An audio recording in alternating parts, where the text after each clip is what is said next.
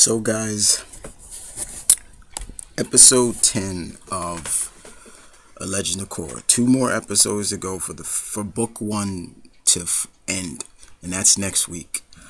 Uh, but this week was an, another good episode, solid episode once again, um, entitled "Turning the Tides." Uh, this episode was really, really like literally the title means it all. Um, and I'm just here to give my thoughts on it. Basically, Korra's recuperating from being abducted and everything like that, and she recounts her story. That was fine.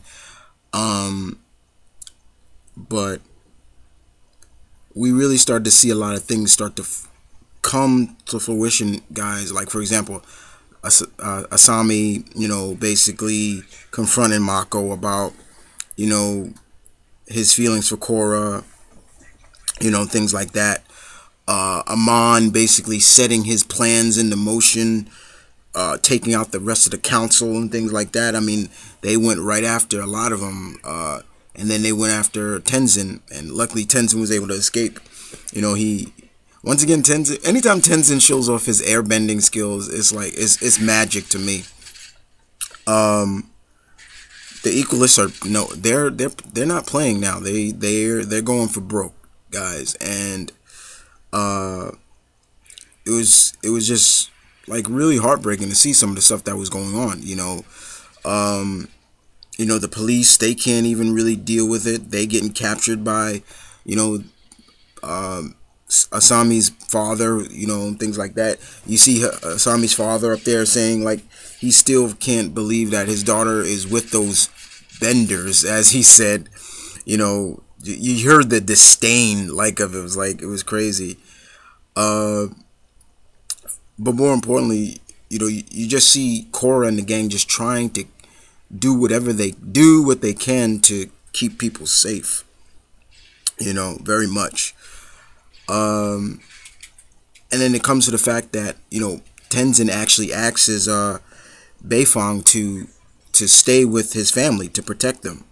You know because his his wife was having labor pains and you know she she was about to go into labor, which was um, really interesting.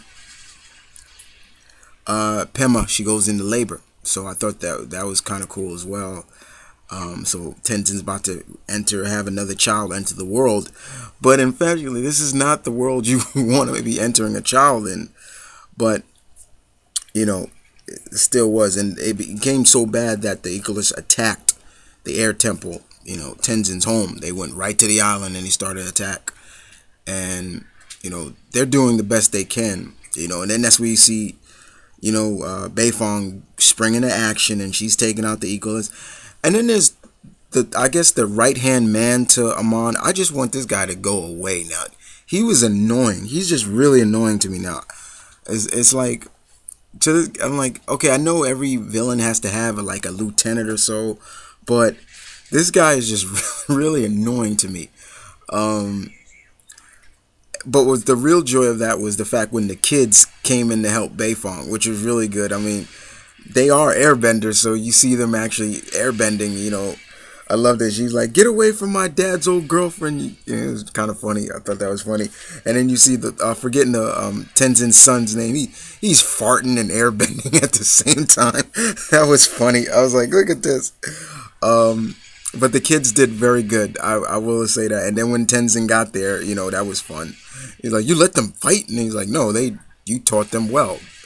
You know, and that's when uh, Pema she went into labor. Before that, she went into labor. She had the baby.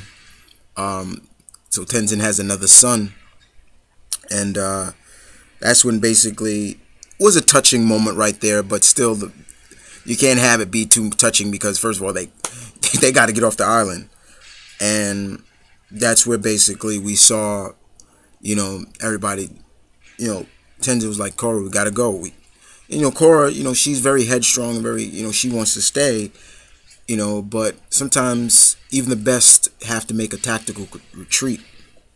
Art of War, Sun Tzu even wrote that. Um, you know, and when we saw that, you know, you see everybody leaving, you know, and they started going after Tenzin. Uh, so Beifong actually bought them some time, and she, you knew something was bad because the way she looked at them was like, she's either gonna sacrifice herself to let them get away, or some something else is gonna happen. Um, and we saw that she she bought them some time to get away, and the Equalists caught her. And I love the the line from Tenzin's son. I'm forgetting his son's name. That lady is my hero. And she's like, yes, yes, she is. And that's what we saw at the end. Um, that was really kind of sad to see, you know, Beifong lose her bending like that, you know, from Amon. And then it's the question of who is this guy? You know, who is he? How is he able to do this? There's got to be some, they got to explain that. Because what I'm hearing is that he's only supposed to be in this season. That's it. He's not going to be throughout the next season. So um, it, it's got to be explained how he's able to take away somebody's bending. And I mean, I thought Aang was the only one that could do that. Uh, and if, if they pull that crap and that it's actually Aang, I'm gonna be pissed.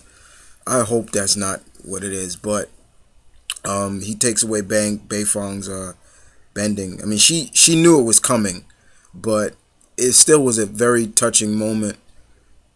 You know, for somebody like me who's very emotional and seeing that, you know, you grow on the characters like that. You know, that was very emotional to see her. You know, she she'd given up. You know, she's basically saying, yeah, this is it, and she she pretty much, you know, gave up her bending. You know, just to protect her former lover. You know, in a way. You know, that's basically what it was. That's what it came down to. So it all comes down to the next one hour season finale next week. Um, and should be really good. I mean, the the next the ex, next week episode 11 and 12. Episode 11 is called Skeletons in a Closet and 12 is called Endgame. And they've used that title like thousands of times as Endgame. But uh yeah. And then of course uh book 2 will consist of 14 episodes. Um, but they've done a magnificent job with this series. I I'm got employed uh, Joachim Doss and Sato and uh, Ki Hyun Ryu and all of them, all the people over that has been on this series. You got to give them credit, you know, because usually direct sequels to hit shows don't always work. And Korra was a hit. It's, it's been a hit, and I loved every every episode, every all nine episodes, ten episodes previous. So it's been great. Um, very good. Um, but this was once again a, a fantastic episode. Once again, guys, and you know I just like to always always get your comments and your input on what you thought about this episode as a whole, and as, as well as you know how do you feel about you know Tenzin bringing another child uh, the question is now, will this be a, a airbender or not? Uh, and also, you know, how does this? How do you feel about Beifong losing her bending abilities? You know, it's like, you know, but then of course, you know, uh, we saw also, which I I wasn't gonna spoil, but you know, we saw um, General Iroh coming coming uh, with his his uh, fleet of warships, you know, to help. And the the thing about it was. Uh, uh, Dante uh, Basco actually uh, voiced voiced the character, same actor who voiced Zuko. So it makes you wonder: is Iroh actually related to Zuko or so? Um, but other than that, just a fantastic episode, guys. And other than that, guys, that was it for the animated stuff for this weekend. Uh, you guys tell me what you think, and um, y'all take care, okay?